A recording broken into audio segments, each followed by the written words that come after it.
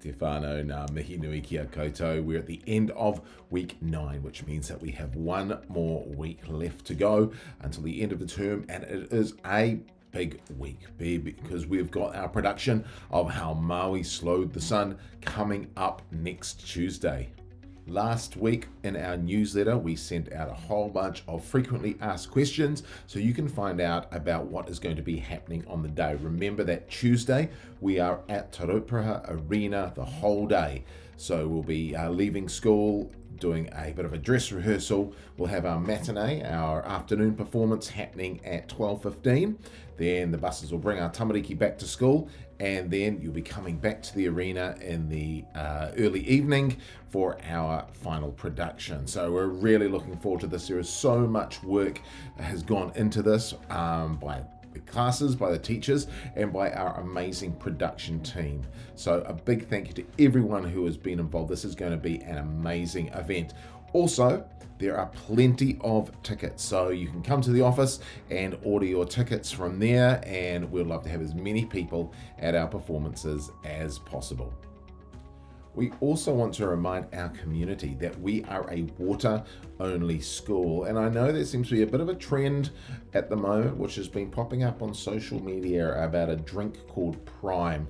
Essentially, this is not a drink for kids. This is that's high caffeine content, high sugar content. It is not great, but there seems to be a bit of a thing around um, having either a bottle of Prime or a empty prime bottle. But we want to really encourage uh, our tamariki to not be indulging in that kind of thing. And as, as parents and as a community, it would be really great if we can support our tamariki to do that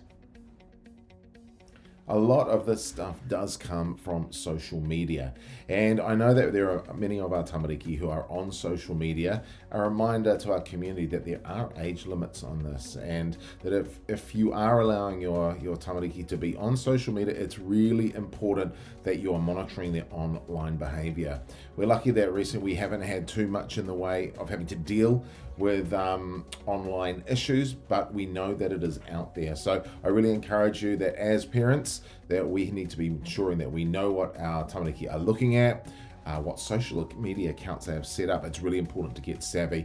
You can always go to the NetSafe website. There's lots of really good information around that, around social media. So make sure that you check that out this week has been Te Wiki o Te Reo Māori, and I know that on our Facebook pages and I think even on Seesaw as well, we've been sending out little um, little phrases and kupu words that we can be practicing through the week. Don't just leave it for one week to be able to practice those. This is something that we want to keep rolling throughout the rest of the year. And as we grow as a school and our understanding of Te Reo Māori and Tikanga Māori, that's something that we want to do more of. So if you want to go and check back on some of those and practice them, They'll be Tino Pai. Well, that's it for this week. Have a great weekend. I uh, hope your tamariki get lots of sleep because next week is going to be a big one. Hey, looking forward to seeing you all at our production on Tuesday. Ka kite anō.